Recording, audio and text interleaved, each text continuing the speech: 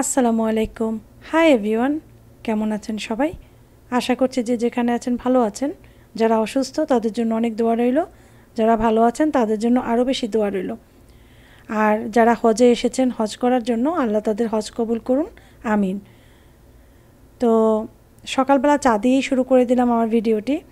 যারা আমার মতো চা পছন্দ করেন তারা তো খুবই পছন্দ করবেন আজকের ভিডিওটি।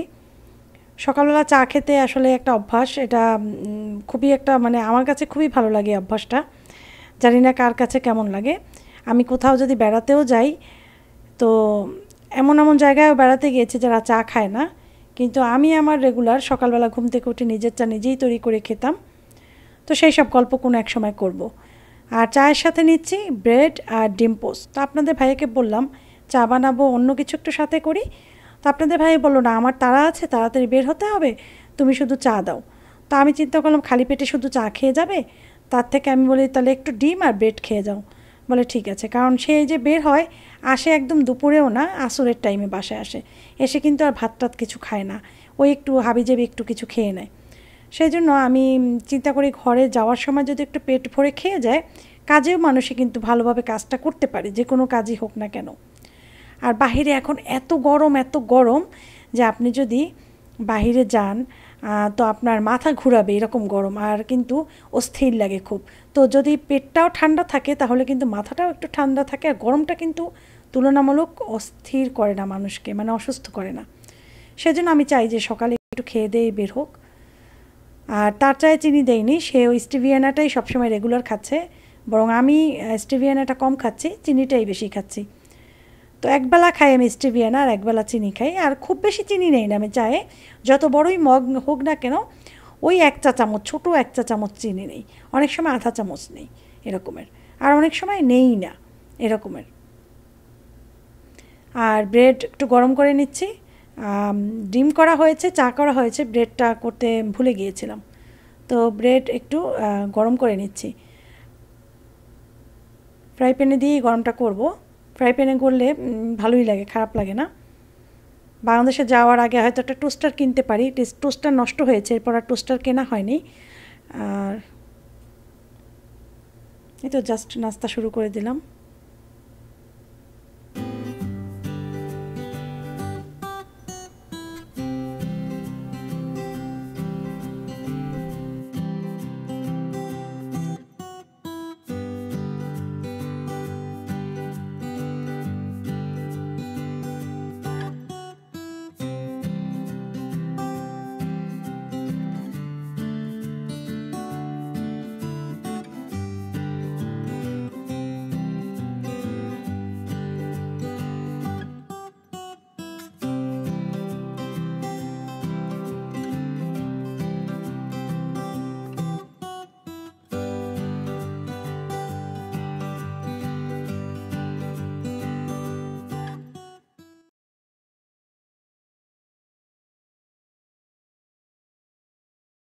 নাস্তা খাওয়ার পরে আমি একটু রান্নায় চলে এলাম আর চিকেন রান্নাটা একটু দেখাচ্ছি। ভাত রান্না করছি আর চিকেন রান্না করছি।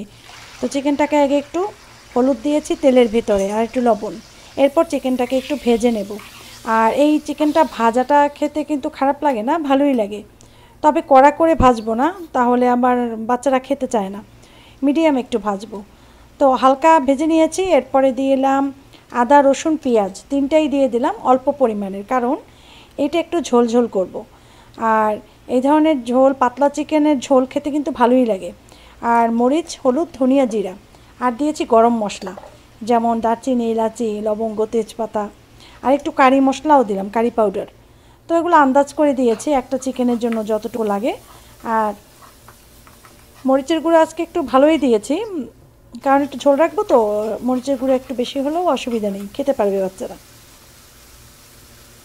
স্বাদ মতো লবণ দিয়ে জাস্ট এটাকে একটু কষাবো অনেকক্ষণ। ভালোভাবে কষানো যখন হয়েছে তখন এই যে চিকেনগুলো দিয়ে দিলাম। চিকেনটা দিয়ে একটু নাড়াচাড়া করে তারপর এটার ভিতরে পানি দিয়ে দেব। ভালো করে পানি দিয়ে ঢেকে দেব আর ওই যে পাশের চুলোতে ভাত, ওটাকে ঢেলে দেব স্ট্রেনারে তারপরে যেটা করব, ওখানে একটু ডিম বয়েল করেছি, ডিমটাকে একটু ভেজে নেব। এই ডিমটা আমি এই চিকেনের ভিতরে দিয়ে দেব। আর ডিম চিকেনের ভিতরে যারা কখনো দিয়ে খাননি, চাইলে খেতে পারেন। চিকেনও খাওয়া হয়, একটু ডিমটাও খাওয়া হয়। ভালো লাগে। আপনাদের ভাইয়া তো যেহেতু চিকেন খায় না, ওই ডিমটা একটু খেয়ে নেবে। কারণ মাছের একটু তরকারি আছে, অল্প একটু সে খেতে পারবে। আর আমি চিকেন দিয়েই খাব। আর আজকে আর ঝামেলা করি নাই। এগুলো দিয়ে খেয়ে ফেলব দুপুরের খাবারটা। রাতে অবশ্য রান্না করব, তবে রাতে আমি আপনাদের সাথে শেয়ার করব। আজকে একটা মজাদার রেসিপি যেহেতু রোজই তো রান্না দেখাই রান্না দেখানোর এমন কিছু নেই। দুপুরবেলাও দেখাতাম না। চিন্তা করি দুপুরটা খালি যাবে, তাহলে একটু রান্নাটা দেখিয়ে দিই। সেজন্য। তাই যেভাবে ডিমগুলো দিয়ে দিলাম, এখন এটাকে ঢেকে রান্না করব, একটু ঝোল ঝোল রাখব। আর খুবই মজা লাগে এই তরকারিটা খেতে। চাইলে আলুও দিতে পারেন। আমি আর আলু টালু দেইনি, এই যেরকম রেখেছি। এটাই দুপুরবেলা আমরা খেয়ে নেব। আফিফকে এই ফাঁকে একটু বাংলা পড়াতে বসেছি, একটু লেখাচ্ছি বাংলা। খুব সুন্দরভাবে লাগবে যেভাবে আম্মু দেখিয়েছে ঠিক সেভাবে ঠিক আছে? হ্যাঁ। বাইরে? বাইরে গেছে একটু আগে কেন? কোনো? আপু আপু চলে গেছে। আব্বু চলে গেছে তো। কেন? আচ্ছা কল দাও কল দিয়ে দেখো আব্বু কোথায় আছে। তোমার আব্বু ডিম এনে এখানে রেখেছে, এগুলো হাত দেয়নি এখনও। একটু পরে কভারটা খুলে, তারপর আবার কভারটা ফেলে দেবো, হাতটা ধুয়ে ফেলব, আর ব্রেড এখানেই রেখেছে। কারণ এখানটায় দেখা যাবে কারও হাত দেওয়া হবে না, সেই জন্য। তো যাই হোক, আফিফ ঠিকভাবে একদম স্পেলিং করে করে পড়বা, ঠিক আছে? প্রত্যেকটা বাংলা ওয়ার্ড, একটাও যেন ভুল হয় না। ঠিক আছে? তো আফিফ, বাংলা পড়াশোনা করতে থাকুক আর যাই, চায়ের সন্ধ্যা, চা তৈরি করতে যাই। একটু ঢেলে নিচ্ছি। আমি চেয়েছিলাম একটু বুট ভাজি করব মুড়ি দিয়ে খাওয়ার জন্য, কিন্তু আসলে এখন সময় নেই, কারণ আপনাদের একটা সুইট আইটেম তৈরি করে দেখাবো ঈদ উপলক্ষে। খুবই ইজি এবং খুবই মজাদার। চাটা খেয়ে ঘরের টুকটাক একটু কাজ আছে, ওগুলো একটু গুছিয়েই তারপরে আমরা রেসিপিতে চলে যাব। অনেক মজার এই রেসিপিটা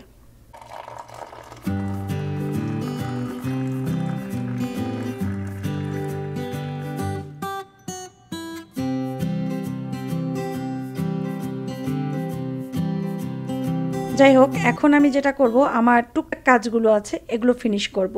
কারণ রেসিপি করতে গেলে কিন্তু ঠান্ডা মাথায় করলে জিনিসটা অনেক ভালো হয়। সেজন্য এরপরে আমি চলে যাব কাজবাজ করি, আমার রেসিপিটা শুরু করে দেব। আসসালামু আলাইকুম। যেহেতু ক্যামেরার সামনে এলাম, সেজন্য আবার সবাইকে সালাম দিলাম। তো ফ্লাওয়ারগুলো ভরা হয়নি, এই যে, এগুলোকে এখন একটু করে রাখব। সেজন্য একটা ইয়া দরকার, কি বলে ওটাকে? একটা পাত্রের ভিতরে রাখতে চাই, যেটার ভিতরে এটা ইয়া হবে না, ধুলা পড়বে না বেশি একটা। তো শোকেজের ভিতর থেকে একটা, কিছু একটা বের করি। আচ্ছা এটা রেখে নেই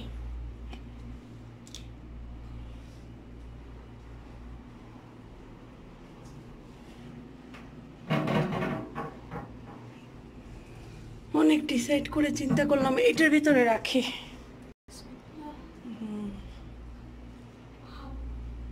এটার ভিতরে রাখলে সুন্দর দেখাবে।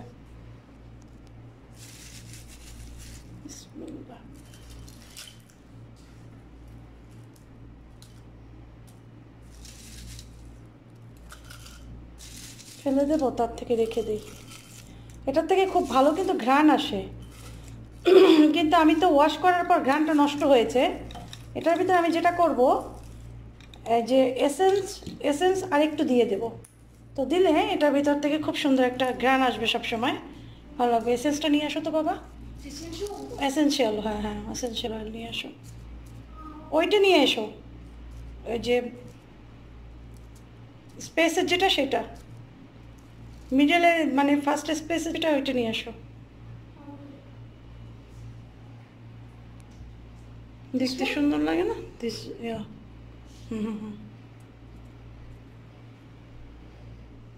এটা ভ্যানিলা এটা খুব সুন্দর এটা ভালো লাগে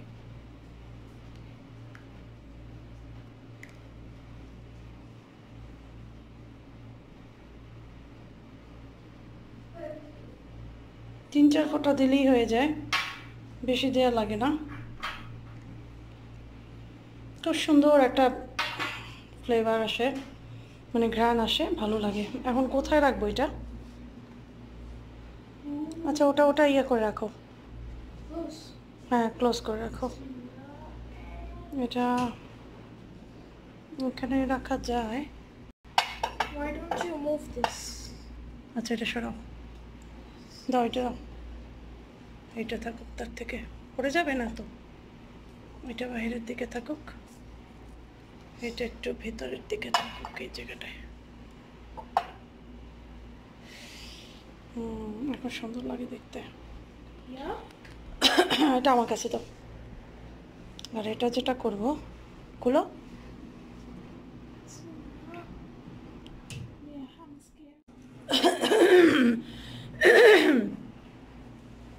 এত কাশি বাবা। কাশি না?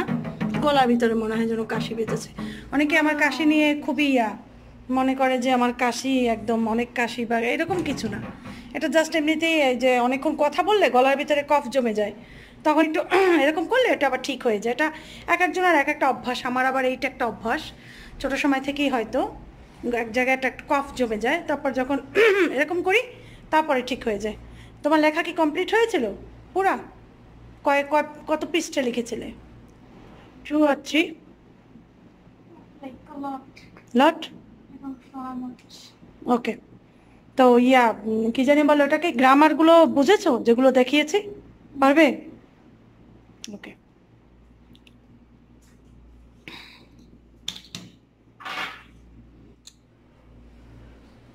এটাও নিয়ে আমি রেখে দিই জায়গা মতো। তো আমি এখন ঘর ক্লিনিংয়ের কিছু কাজ করব। তার আগে ওই যে ওর বাবা ডিম নিয়ে এসেছিল কালকে কালকে রাতে। তো বারো ঘণ্টা অলরেডি হয়েছে, বারো ঘন্টারও বেশি হয়েছে। না, চব্বিশ ঘণ্টা হয়েছে। তো তাও আমি হাত দিয়ে সব কিছু ধরলাম এখন। তাও ধরে আবার হাত ধুয়ে ফেলব আর ওগুলো একটু ঠিকঠাক করে ফেলব। রুটি, ডিম, এই ধরনের জিনিসগুলো।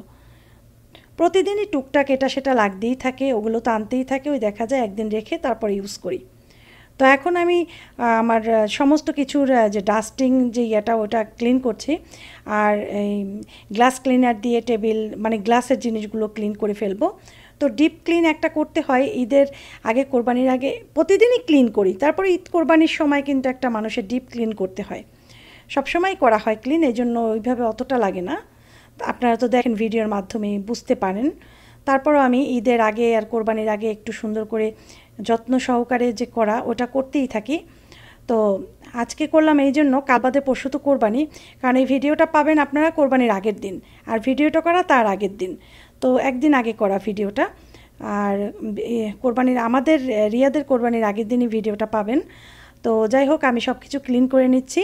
এরপরে আবার কালকে আমি কিছু সেটিং চেঞ্জ করব। ইনশাল্লাহ পরের ভিডিওতে পেয়ে যাবেন সেটা। তো আমি সমস্ত কিছু আগে একটু ভালোভাবে ক্লিন করে নেই। তারপর আবার আমি আপনাদের সাথে চলে আসি কাজে।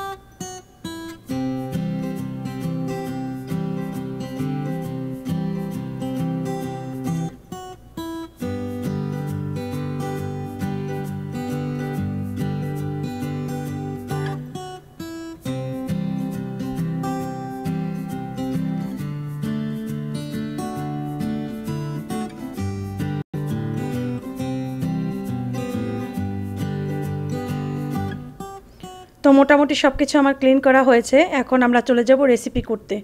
তো সাথেই থাকুন আমার। দেখুন আমি কি কি করি। রেসিপি তৈরির জন্য চলে এলাম। ব্লেন্ডার নিয়েছি। ব্লেন্ডারের ভিতরে আমি ছয়টা ডিম ভেঙে দিয়ে দেব। আমি ছয়টা ডিমের মাপে করছি। আপনারা ছয়টা ডিম দিয়ে করলে অনেকগুলো হয়ে যাবে। তো এই রেসিপিটা খুবই ইজি এবং সব থেকে মজাদার একটা রেসিপি এটাও। তো যখনই কোনো রেসিপি বেশি ভালো লাগে, তখন আমি আপনাদের সাথে সেটা শেয়ার করি। মোট ছয়টা ডিম নিলাম এখানে। ছয়টা ডিমের সাথে পুনে এক কাপ চিনি দিয়ে দিচ্ছি। এখন এটা ব্লান্ডারে ব্লেন্ড করে নিচ্ছি। তো এই যে আমার ব্লেন্ড করা হয়েছে, এই যে এখন চুলোতে চলে যাব। চুলোর ভিতরে একটা হাঁড়ি বসিয়ে দিয়েছি, দিলাম একটু বাটার বাটার দিয়েছি ওয়ান থার্ড কাপ বাটার আর কিছুটা বাটার পরে দেব। প্রায় আধা কাপের আধা কাপের মতো বাটার আমি ইউজ করেছি, আধা কাপ থেকে পনে এক কাপ। আর এখানে তিন চা চামচ ময়দা দিয়েছি। একদম তিন চা চামচ ময়দা এবং চুলার আঁচটা থাকবে একদম লোতে। এরপর এটাকে অনাবরত নাড়তে হবে। যখন এরকম কালার আসবে, তখন এখানে এক কাপ লিকুইড দুধ, এক কাপ লিকুইড দুধ আপনারা দিয়ে দিবেন, দিয়ে ভালোভাবে নাড়তে হবে। আর চুলার আঁচ সব থেকে লোতে থাকবে, একদম লোতে। মানে যেটা নিচে আর কোনো লো নেই সেই রকমের নয়তো কিন্তু দলা পেকে যাবে। দিলাম দুইটা এলাচি। এলাচি দুইটা পরে অবশ্য আমি তুলে ফেলব। এখন কিছুক্ষণ নাড়তে হবে, এরকম ঘন ঘন করে ফেলতে হবে। তখনই ওই যে ডিমের মিশ্রণটা দিতে হবে এবং অনাবারত নাড়তে হবে। আর চুলা কিন্তু একদম লোতে থাকবে। নয়তো কিন্তু ডিমটা ছাকরা দিয়ে যাবে, ভালো হবে না সেই ইয়াটা। প্রথম দিকে। প্রথম দিকে ভালোভাবে মিশানোর জন্য চুলার আঁচ কম থাকতে হবে। এটা হচ্ছে স্যাফরন।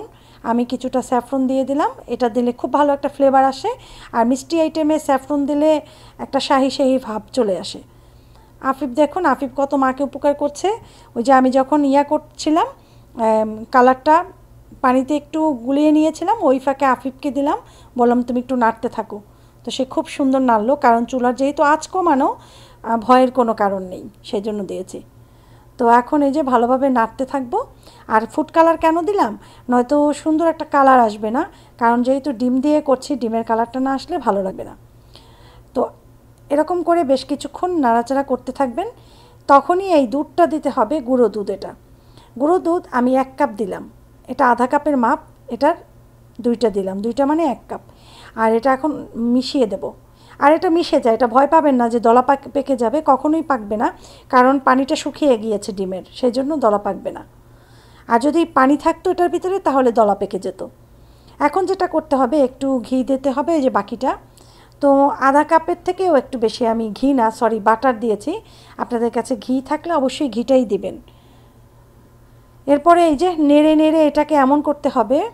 এরপরে দেখলাম আমি যে না, আরেকটু দুধ দরকার। নয়তো দেখা যাবে কি বাইন্ডিং ভালো হবে না। মানে যেটাকে বরফির সাইজটা ভালো হবে না। সেই জন্য আমি কিন্তু আরও আধা কাপ দুধ দিয়েছি। মোট আমি দেড় কাপ দুধ ইউজ করেছি, ছয়টা ডিম, পৌনে এক কাপ চিনি আর এক কাপ লিকুইড দুধ। এখন এটাকে নাড়াচাড়া করি এইভাবে তারপর যখন শক্ত হবে, ওই তখনই নামিয়ে ফেলব। এই রকম হলেই নামিয়ে ফেলতে হবে। এই যে। আর যেই বাটিটা আপনারা বরফি করবেন, ওটা অবশ্যই আগে একটু বাটার বা তেল ব্রাশ করে নেবেন। আমিও নিয়েছি। এখন এই যে সাইজ করে দিয়ে ঠান্ডা হওয়া পর্যন্ত এভাবেই রাখতে হবে। ঠান্ডা হলে কেটে তারপরে ফ্রিজে রাখতে হবে। তো আমার কিন্তু মশালা ঠান্ডা হয়েছে। আর দেখবেন যে বরফিগুলো কত সুন্দর জমেছে। ওই যে লাস্টের আধা কাপ দুধ দিয়েছি সেই জন্য। ওই দুধটা যদি না দিতাম তাহলে আমার বরফিটা অনেক নরম থাকতো। খেতে অতটা ভালো লাগতো না। সেজন্য ওই ছয়টা ডিমে দেড় কাপ দুধ দিবেন। আর এক কাপ লিকুইড দুধ। যাদের কাছে লিকুইড দুধ নেই, তারা নর্মাল যে গুঁড়ো দুধটাকে পানির ভিতরে গুলিয়ে এক কাপ পরিমাণ করে দিয়ে দেবেন। চার টেবিল চামচ দুধ দিলেই এক কাপ দুধে চার টেবিল চামচ না, তিন টেবিল চামচ দিলেই হবে। আর এই যে দেখাচ্ছি, আর যারা মিষ্টি বেশি খান, তাহলে তারা এক কাপ চিনি দিবেন। আমি দেখলাম পুনে এক কাপ চিনি পারফেক্ট তা এখন আমি এই যে তুলে নিচ্ছি। এই যে দেখুন কত সুন্দর হয়েছে। এটা অবশ্যই বাসায় তৈরি করবেন ময়দা দিয়ে, আর অনেক ভালো লাগবে খেতে। তো আমার কাছে কিন্তু খুব ভালো লেগেছে। আমি এটা কিন্তু রেসিপির চ্যানেলেও দিব। পরবর্তী পর্যায়ে আপনারা কেউ যদি দেখতে চান ভালোভাবে, তাহলে অবশ্যই রোকসানাস ম্যাজিক কিচেনে যেয়ে এটা ভালোভাবে দেখে নেবেন। ওখানে আমি দিয়ে দেবো, তবে আজকে দেবো না। আমি ঈদটা গেলে পরে আমি দিয়ে দেবো, বা যদি ঈদের আগে সময় পাই পরশু দিন তো ঈদ, তো আগে একটু সময় পেলে হয়তো দিয়ে দিতেও পারি, ঠিক নেই। তো এই যে, কত সুন্দর হয়েছে। তো একটু ট্রাই করে দেখছি কেমন লাগছে খেতে। বিসমিল্লা অনেক মজা হয়েছে, অনেক মজা হয়েছে। আপনারা অবশ্যই করে খাবেন আর আমাকে কমেন্ট করে জানাবেন।